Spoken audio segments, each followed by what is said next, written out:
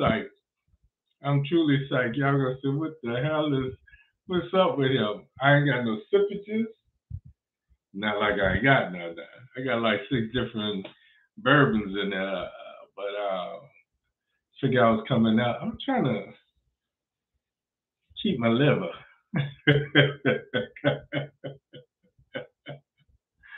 so what's up, people? What's up? What's up? What's up? I don't know, man. Um, I was watching. I don't know if you guys have been watching, but um, Tuesday was um, a lot of primaries that will determine who the Democrat will be running against the Trump Republican tonight, folks. We're getting close, baby. We're getting close. So, far as I'm concerned, um, all of this hard work that I've been doing for the last couple years, all since 2020, really be, since before then, but certainly um, leading up to the election and then after the election, and, and my Creole powers and me giving you guys, you know, analyses and, and breaking things down and, and trying to explain this, that, the other so that it'll make sense. Trying to make this this this illogical nonsense make sense. Um, it's starting to pay off. When I, I look at the news, when I look at what um, those talking heads that are, are, are paid to talk and, and make predictions and so forth and so on, when I hear what they say, I feel vindicated. I feel like all of my preaching, my teaching, all of this has not been in vain. So yeah, I'm psyched. I'm psyched. I'm psyched. I'm psyched. Um, to my folks that's been knowing me for a minute, I keep saying this and I mean it. I'm not new to this. I'm true to this. I do this.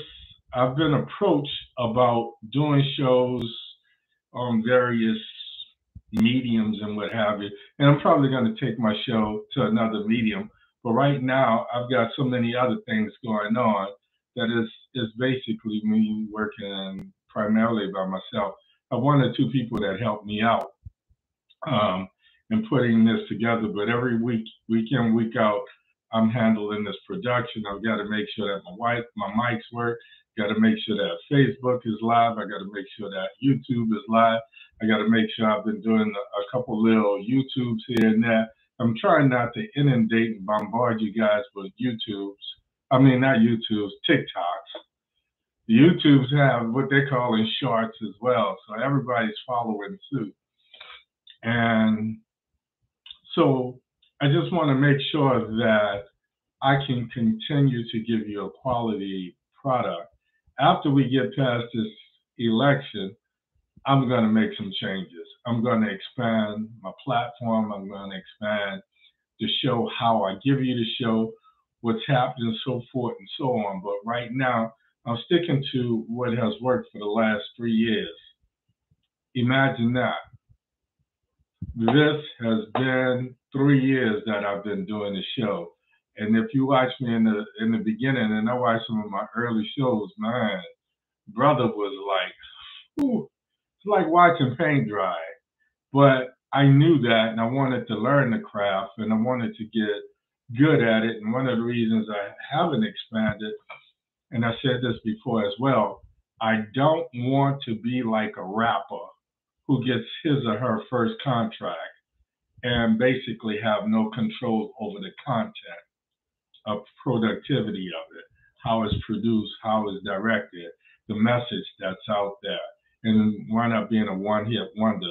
So I don't want to take on quote unquote sponsorship for the show, and then they tell me what to say, how to say, when to say it, and before you know it, it's no longer my message. It doesn't have the passion that you guys know that I feel when I do what I do when I do what I do.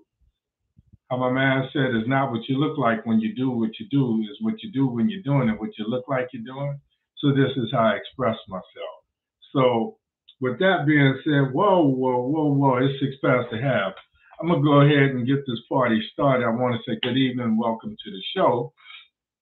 As always, I always start off the show by saying thank you for choosing to spend your Thursday nights with me. I am truly, I am truly, I am truly, three times, I'm truly humble that all of the things you could be doing on a Thursday night, you choose to be here with me, getting the message, getting my analysis, getting listening to me rant, rave with the passion that I have about what it is that I do. If it's your first time tuning in, um, or if you've seen me before, my name is Hank Batiste. My show is called Omit the Logic. This shit makes no sense. But every week we try to make it make sense. I'm your host tonight, and every Thursday at 7:30 Eastern, 6:30 Central, and that other Pacific. You know, I'm not doing the math right now. I'm your host, and the voices in my head are truly psyched, truly psyched. The primary elections, a lot of primary elections were last Tuesday, and what is starting to show in a lot of states, swing states, is all is not lost. As a matter of fact, despite mediocre performances, mediocre performances and leaderships, the Dems are looking pretty good. 100 days ago, 150 days ago, we felt like all was lost. The House we expected to lose at least 14 seats and blase, blase, and the, the Senate was up for grabs. Now the pendulum seemed to be swinging back and forth. And as a matter of fact, right now, maybe because of Roe v. Wade and some other things that are happening, people are starting to understand, people are starting to listen. And when I do this, I do it first as a child. When I was a child, my mom would preach to me, my mom would teach. And I always said my mom was, was the quintessential philosopher. She could teach you without you realizing you were learning. When I got to a certain age and I realized that she was trying to impart knowledge and wisdom on me, I will fight and I would try to ignore. But no matter how hard I tried as a child, a lot of that seeped into my subconsciousness. And what I see now is now that I'm the father and the grandfather, I do the same thing. And when I think people are, aren't listening, I find out that a lot of people that don't know me are listening. And those that say they're not into politics and what have you, those that are kind of fed up with all of the games that they play in, in, in, in politics, be it in local politics, municipal and cities, or on the state level and certainly on the, the national uh, federal level, you get so inundated, you get so full of it that you just you kind of give up and you say, I'm not really into it because you feel weak. You feel like there's nothing you can do. But what this past Tuesday has shown us, what some of these primaries have shown us, is that all is not lost. What it's shown me is that people are listening, even those people that I don't know. What I have noticed is that um, some of those that I would call opponents, those that don't agree with our way of thinking, and um, I'm not going to go off on a tangent, but those that are, don't agree with what I believe in, they are stepping in and they're actually paying attention and they're seeing some of how some of the things that I say make sense, though they don't. Nothing I could say is going to change how you feel if you've come to your way of, of thinking and feeling, and your life experiences have led you to the place you are right now. There's nothing that I can say to you in 30 minutes, even if you tuned in every Thursday night. That's going to change how you think, how you feel, what you believe.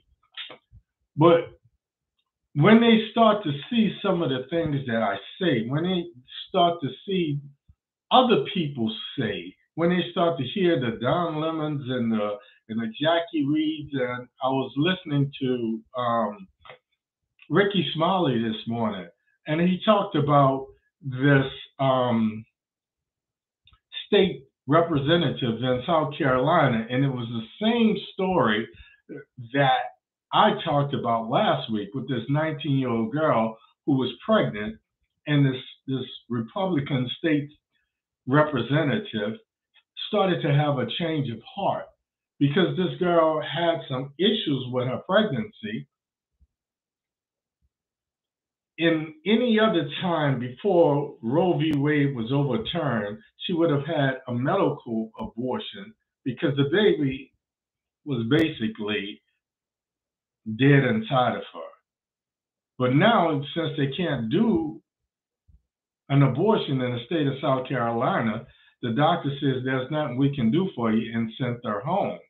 So when I hear other people start to talk about the stories that I've already covered, it tells me that my message is not only relevant, but it's timely because I said it first and I do a lot of research for this. So without going off on a tangent, said again, good evening, welcome to the show. Um, huh, Mar-a-Lago. Mm, mm, mm, mm. The good and the bad is I wish they would have done this sooner because the good and the bad is this it's good to send a message that you're not above the law. I understand that the reason that they waited to do some of this is because they wanted his popularity to wane. But a lot of those people that follow him follow him because he spewed the hate that's deep seated inside of them. And that doesn't change simply because he's out of office. So, Mar-a-Lago, the good is it sent the message. The bad is it made, when his popularity was really starting to wane, it gave the knucklehead a shot in the arm and, and increases not his popularity, but it gave him uh, another national platform and it gave him an opportunity to, to whine that somehow he's being he's the victim again. It's amazing that the people that always do the most dirt are always the ones who cry foul the most. Um, so I'm gonna talk a little bit about it, but I'm proud to be here in Florida. Um, last Tuesday was our election. Over the weekend, I took a couple people to the polls and I tried to do my part, you know what I'm saying? And this last Tuesday, what we found out is Val Demings, and you guys, a lot of you remember, Val Demings is the U.S. representative from the state of Florida. She used to be chief of police and blah, blah, blah. But she really made a name for herself. She had a positive showing during the impeachment trials of despicable delusional Donnie she represented herself. She represented the state of Florida very well. So it looks like she's going to be running against Marco Rubio. Um, up until this point, she's out earned him for his, his, his donations are concerned. Now the pundits, the talking heads, the media is starting to talk about this dark money that this Republican dark money, and they talk specifically about Rick Scott, who used to be a governor here, um, and um, representative and blah blah blah blah blah. But he's out on his boat in the Mediterranean off the coast of Italy, and they're talking about how he's going to start funding money into Marco Rubio's campaign to try to stop Val Demings from winning. So I feel good about that. Um, in New York, there was something that happened, you know, with the, we always talk about these piss poor and mediocre performances. And I, always, I, I talk about being an administrator if I had to evaluate these people. So we talked about all that was going on in the state of New York with, with Cuomo, Andrew Cuomo, and and then all of this other stuff and these people and this people and and what's happening there and this person being investigated and so forth and so on. Well, Pat Ryan looks like he's going to be the man. He's a Democrat in New York, so that's a good thing. There are things, and all of this is just showing us that all is not lost. So those folks that feel like you're not in the politics because you feel powerless, all I'm saying is this. 100, 150 days ago, things looked pretty bleak. In spite of piss poor Pelosi leadership, there's still hope that the Dems, the D-I-M, capital D, capital I, capital M, small letter S, can hold the House. Imagine that. We've got 75 days left, and somebody's been listening to my rants. Somebody's been listening to my sermon. Somebody's been listening to the message that I've been spewing about the what ifs of a McCarthy and McConnell Republican, Trump Republican rule in Congress. So, as a result of all of this, like I tell you, I'm psyched. Tonight's show is called Three quarters left. Game on. My name is Hank Batiste. This is Omit the Logic. This shit makes no sense. But we gotta make it make sense. Let's do this. Mar-a-Lago, the good, the bad, the ugly. Um, every day we hear about redactions and, and what was on the warrant and so forth and so on. The thing that I would impress upon you, the thing that's most important is I call him despicable for a reason because what he showed us on January the 6th is if he can't have it, he would burn it down. It being this country, it being power, when he left the White House, he took a lot of top secret, sensitive information that had to do with military plans. They talk about he took what they call in love letters between him and Putin and Kim Jong Un. Korea and, and Russia are the two places, plus China, that would love to see America fall if he cannot get nominated in 2024, who's to say, with his love of Putin, that he won't give some of this information? Now they're saying some of the documents that they seized shows that Bill Barr, his attorney general, that mm, looks like Dan Connors or John Goodman, shielded him from the Mueller report that showed that he obstructed the investigation into his Russia influence, or uh, Russia's influence in the 2020 elections, in the 2016 elections. So all of this is it's not only pertinent, it's beyond important because anybody that feels like if I can't have it in this childish, if I can't win, I'm gonna take my, my ball and leave the park. Anybody knows if you're playing, if you're playing ball, and um you play elimination if they're using your ball and your team loses, then you have to take next. And you have to wait for a chance to come up and play again. You don't just childishly take your part, your your ball, and leave the park. And the game is over, and everybody knows somebody who's like that. So he would easily give away this information to see this country fall. So it was imperative that they did what they did. But I don't like the timing of how and when they did it.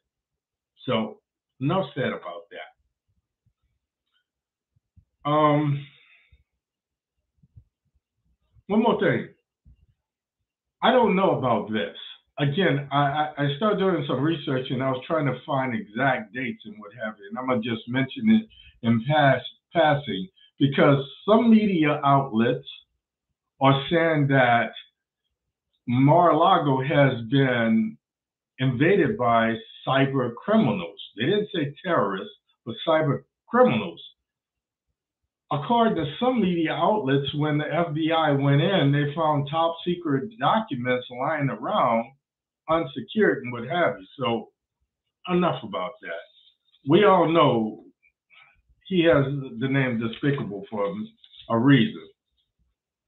I keep talking about piss poor Pelosi leadership. Last week I talked about Nancy Pelosi and the fact that she and her son, Paul Pelosi Jr., went to Taiwan. Last week I talked about her son getting 7,000 shares from a telecom company. I'm going to reiterate this. One of my doctors is Taiwanese, from Taiwan. And he was talking about the fact that it adds to this uneasy relationship between Taiwan and China. She has made more money for herself and her family as Speaker of the House. What I'd like to see at some point is what her network was before she became Speaker of the House and how it's grown in the last year and a half since she's been Speaker. And all of that is important because I've been saying all along that Joe Biden needs to lead by executive order. If Congress doesn't follow you, you need to the bad thing about an executive order is while you are in the White House, it's a temporary law. And the next president can basically just overrule all of those things. An executive law or executive order cannot be vetoed by Congress. But it, gave, it gives the president executive privilege of power and we saw Trump abuse it. This week, what we saw, and I said somebody's been somebody's been talking to Joe because he's starting to do exactly what I said he should do. But this week he talked about ten thousand dollars relief.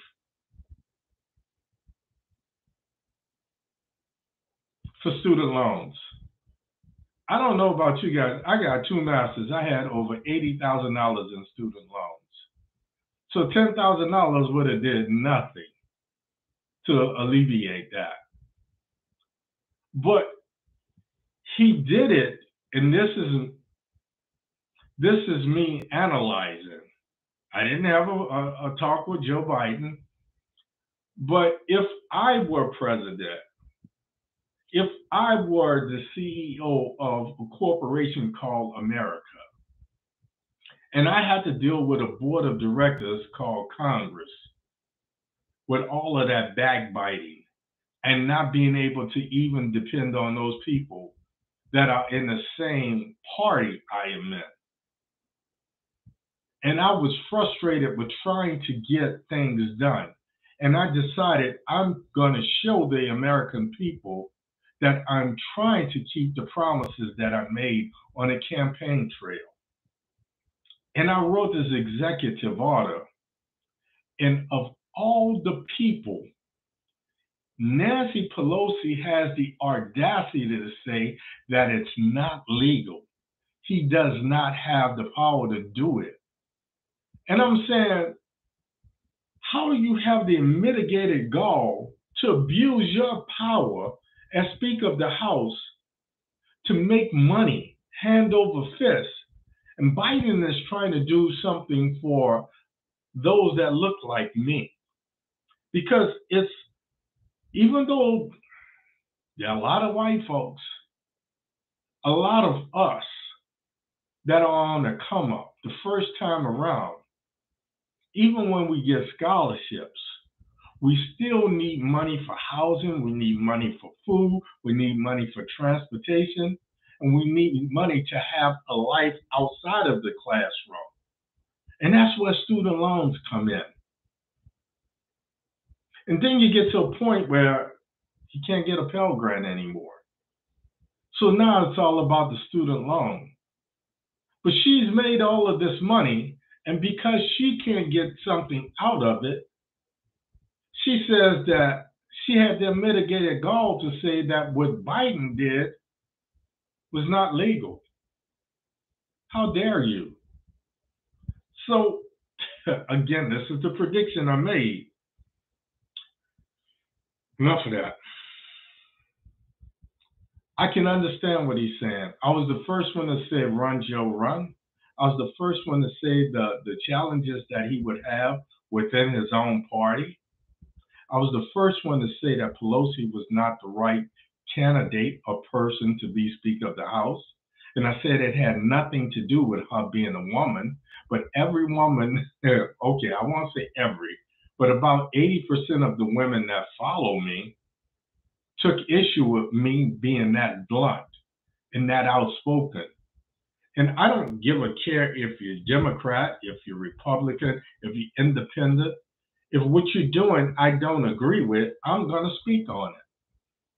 So I said it back then, and now everybody's starting to see why I said what I said when I said what I said. Moving on.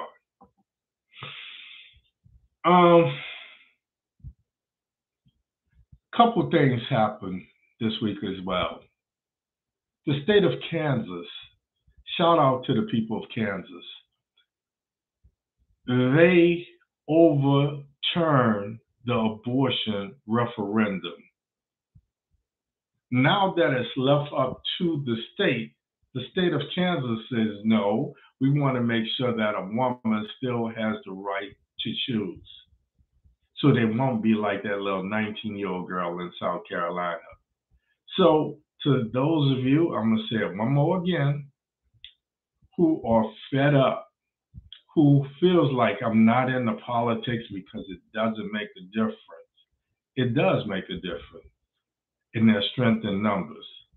And Kansas is not the only place. So wherever you are, it starts with one. So if each one teach one, if each one reach one, we can fight this nonsense. Three quarters, game on. I call it three quarters because we got 75 days left. 75. Yeah, I'm psyched. That first 25 days was that 100 days ago when things looked so bleak. And now we're turning things around. Last week I wore my, huh, where's that? Oh, I brought it back for y'all. I wore my golden shirt jersey my Golden State jersey because I'm a competitor and I believe in leadership. And right now, all is not lost. 75, three quarters left. And we could turn this around. The biggest challenge moving forward is not maintaining a majority in the House of Representatives the biggest challenge once we take more seats in the House of Representatives is convincing those powerful people that Nancy has made money for that it's time for Pelosi to pass the gavel. So remember, you heard it here first. On November the 9th, on November the 10th, my birthday, and the following week, when we start talking about who should be Speaker of the House, the one name that should not be there is Pelosi. That's all I got to say about that. Um, there's so much happening now. And I'm going to just say this, folks. We got 75 days. I say we got three quarters left. So look at it in every 25 days for the next 75 days, moving up to November 8th. What can we do to stay focused and increase the majority? And, and let me, I wasn't going to go off on this tangent, but let me just say this because I don't swallow anybody's doctrine hook, line, and sinker. I don't drink anybody's Kool Aid. I'm going to make my own iced tea. I'm not a true Democrat, nor am I a, a Republican or independent. I understand that this two party system, like it or not, is what we have to deal with. And I'm tired, just like you are, I'm tired of dealing with the lesser of two evils. So, what I'm trying to get you guys to understand is every 25 days, 25, 50, 75, November the 8th. It's about accountability. A, it's about doing the background work and find out who it is that you're voting for, finding out what their platform is, what their history is. And not only that, the hard part. When people get into office, they assume the power. And a lot of times, once they assume the power, they assume the position. And they become just like the others because they see this corruption is so wanton. And they feel like they can't fight it. So it's up to us to provide the oversight, the accountability, and hold them accountable, whether their name is Trump, Pelosi, Manchin, Biden, it does not matter. 75 days, three quarters, game on. Every 25 days, let's come up with a strategy on how to make our individual communities better and how we're going to hold them accountable. After this is over, after November 8th, I think I'm going to expand but I'm going to talk about how to put things in order, how to make some of these changes. So stay tuned. That's all I got for you tonight. Three quarters, game on. There's light at the end of the tunnel. We were down by 25, but now we up by eight. What we do in the next three quarters is on us. I'll see you next week, right here, same Baptiste time, same Baptiste place. Do me a favor before you go. Go to my YouTube, sign up, hit the bell, subscribe,